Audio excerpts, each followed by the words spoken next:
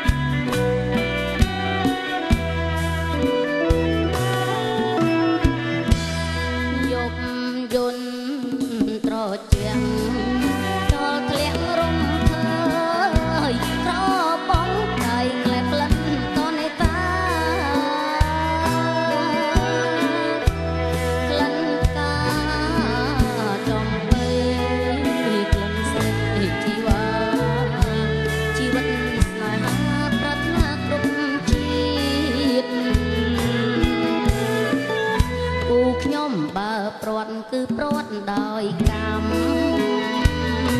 មិនមែនចិត្ត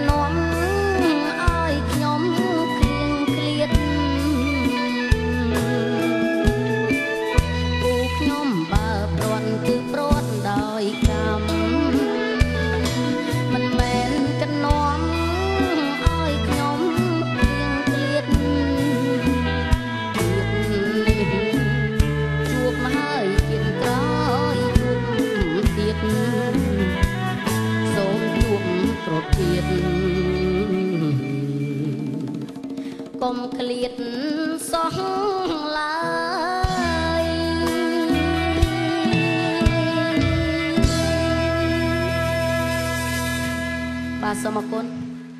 បាទសូមអរគុណដល់សម្លេងស្នូទះដៃបាទបាទអរគុណច្រើនសម្រាប់បងប្អូនផ្ទាល់ដែលបានបកស្រាយនៅបទចម្រៀងយ៉ាងពីរោះមុននេះគឺដាក់បទចម្រៀងបែបបុរាណហើយបទក្រោយនេះរៀងសម័យបន្តិចបាទបងប្អូនមិនដែរមានអារម្មណ៍មិនដែរបងបានស្ដាប់បទចម្រៀងហើយព្រោះអត់ព្រោះប៉ុណ្ណាធ្វើដៃទីមើលធំបាទអរគុណច្រើនណាស់ហើយអឺមុននេះខ្ញុំបានអឺខ្ញុំនិងកញ្ញារតបានជម្រាបជូនបងប្អូនអស់ឲ្យបានជ្រាបហើយថាបងប្អូនប្រុសមិនត្រឹមតែ បកស្រាយនៅបទចម្រៀងបានព្រោះប៉ុណ្ណោះទេបងប្រុសនៅមានសមត្ថភាពតខ្លួនមួយចំនួនទៀតដែលបងប្រុសអាចធ្វើបានចាក្នុងនោះរួមមានដូចជាស្អីខ្លះទៅបងប្រុសបាទមានដូចជាវាយមាត់ចេញជាបត់ហើយនឹងអឺស្មោតអូស្មូតវាយមាត់ចេញជាបត់បាទវាយស្គរឥឡូវចេះវាយដោយសារតែបងប្អូនអឺមានសមត្ថភាពពីរទៀតនោះគឺក្នុងការស្មូតហើយនឹងអឺធ្វើសម្លេង វាយវាយមាត់ណាចាចេញជាភ្លេងហ៎ចាំជួបទៀតឥឡូវសូមឲ្យបងប្អូនអឺសូមស្មូតមកឃ្លាពីរមកចាសូមផ្ដល់ជាសម្លេងស្វាគមន៍ឲ្យបងប្អូនប្រុសមួយមកតើអ្នកណាមួយ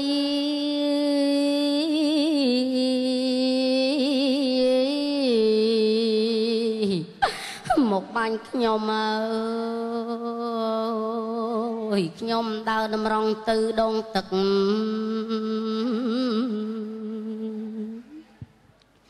ដៃកនដៀតអមជាមួយអមរឹក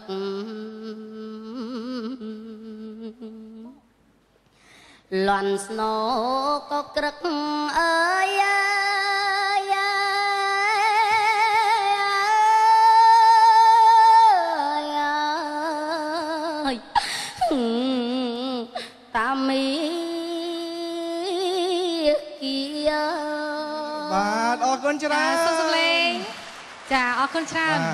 បាទសូមអរគុណភឺសបល់ខ្ញាក់ចាបើតាមដែលនាងខ្ញុំដឹងហើយសម្រាប់បងស្រីដែលជូនប្អូនមកខាងក្រៅឆានហ្នឹងគឺគាត់ជម្រាបថាប្អូនប្រុសគឺរយៈពេល1ខែទៅប្អូនងូតទឹកម្ដងតើរឿងនេះគឺជារឿងពិតឬក៏យ៉ាងម៉េចដែរបាទគឺគឺជារឿងពិតបងចាហើយហេតុអីបានជារយៈពេល1ខែបានយើងងូតទឹកម្ដងហេតុអីបាទពីព្រោះខ្ញុំអន់ចិត្តដោយខ្លួនឯងថាខ្ញុំមិនបានអឺមានអនាគតភ្លឺស្វាងឡើយបង អូអូបាទឥឡូវអឺអឺសួរមួយទៀតតកតងនឹងបត់ស្មូតមិញហ្នឹងណាអឺបងប្រុសអាចជម្រាបបានទេថាបត់ស្មូតមិញហ្នឹងគឺស្ថិតនៅក្នុងអឺខ្សែខ្សែចង់និយាយក្នុងរឿងអ្វីហើយក្នុងឈុតណាដែរបាទបាទបងអឺស្មូតនេះគឺជាឈុតអឺដេញខ្សែត្រង់សវណ្ណសាមគេចូលទៅដងទឹកហើយក៏មានយៈម្នាក់បងយៈឈ្មោះកបលយៈក៏មកបានបាញ់សវណ្ណសាមប៉ុន្តែតែកបលយៈនឹងមិនមានចិត្តបានបាញ់សវណ្ណសាមទេ គេប្រុងបាញ់សត្វមរគីមរគាដែលនៅជុំវិញសវណ្ណសាមដូចជាសត្វប្រើសសត្វក្តាន់រមាសអីគាត់អឺគេចុះទៅអឺផឹកទឹកបងអូបាទពិសេសមែនតើចានេះគឺពិសេសមែនបតើត់ស្មូតដែលបងប្រុសលើកយកនោះគឺស្ថិតនៅក្នុងខ្សែភាពរឿងរឿងសវណ្ណសាមចាបាទឥឡូវឥឡូវនេះបានជួបជាមួយនឹងសមត្ថភាពក្នុងការ Smooth ស្មូតរួចហើយចាហើយចង់ដឹងថាតើការដែលវាយ វាយមាត់ចេញភ្លេងហ្នឹងមិនវិញណាបងប្រុសចាប្រើមាត់វាយជាត្រៀមស្គរខ្លួនឥឡូវសូមឲ្យបងប្អូនផ្ដល់ជាសម្លេងស្វាគមន៍ឲ្យបងប្រុសមួយទៀតបាទឥឡូវយើងធ្វើការរាប់ជូនទាំងអស់គ្នា1 2 3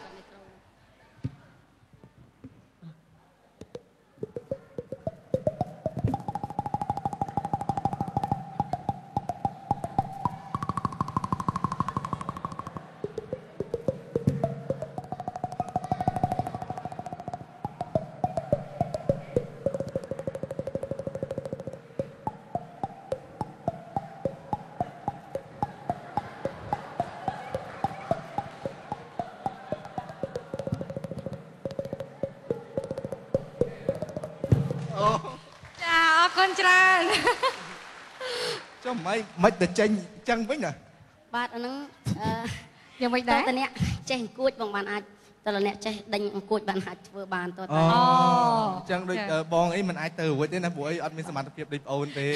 បាទចាអរគុណនេះគឺជាច្រើនអឺសមត្ថភាពរបស់បងប្រុសអឺខាន់លក្ខដែលបានបង្ហាញជូនលោកលោកស្រីអ្នកកញ្ញាដែលទស្សនាទីនេះផ្ទាល់ក៏ដូចជានៅតាមកញ្ចក់ទូរទស្សន៍ហើយសម្រាប់បងប្រុសផ្ទាល់ក៏មានសេចក្តីអឺ ទទួលបាននៅការអាណិតអាសូរពីសម្ដេចអគ្គមហាសេនាបតីតេជោហ៊ុនសែននិងលោកជំទាវបណ្ឌិតប៊ុនរនីហ៊ុនសែនដែលមានសម្ដេចអគ្គមហាសេនាបតីតេជោហ៊ុនសែនដឹកនាំប្រជាជាតិកម្ពុជារបស់យើងឲ្យឈានទៅអឺផ្លូវមាគ៌ាមួយដ៏ប្រពៃហើយចា៎ក្នុងនោះក៏មានអឺលោកជំទាវបណ្ឌិតដែលជាប្រធានកាកបាទក្រហមកម្ពុជាក៏តែងតែយកចិត្តទុកដាក់សម្រាប់អឺជជីវភាពរបស់បងប្អូន ក្នុងនោះក៏បានអឺមានសេចក្តីអាណិតក៏ដូចជាសន្តោសប្រណីចា៎ទៅដល់បងប្អូនប្រុស ហើយក៏បានអឺ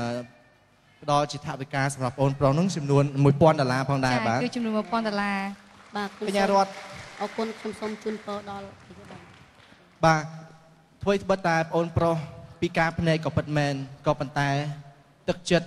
ដួងចិត្តរបស់បងអូនប្រុសបេះដូងរបស់បងប្រុសគឺមិនពីការទៅជាមួយនោះទេ គឺបងអូនប្រុសព្យាយាម